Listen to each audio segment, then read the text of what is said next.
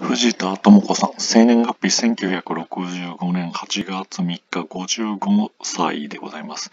出生地が、えー、東京の世田谷区で身長159センチ、血液型 A 型、職業は女優さんで歌手です。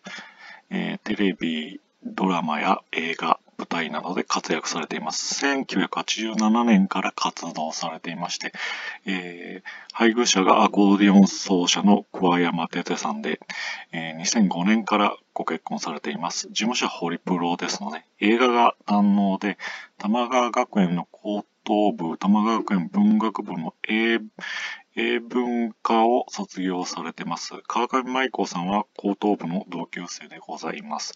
ポール・マッカートニの大ファンで有名ですね。1988年 NHK 連続テレビ小説のんちゃんの夢でテレビデビューされてます。渡良世間は鬼ばかりの長子役が最も有名ですね。えー、20代の頃から僕この人大好きで、50代になってもすごくチャーミングですよね。本当に僕にとって永遠の綺麗なお姉様です。本当大好きです。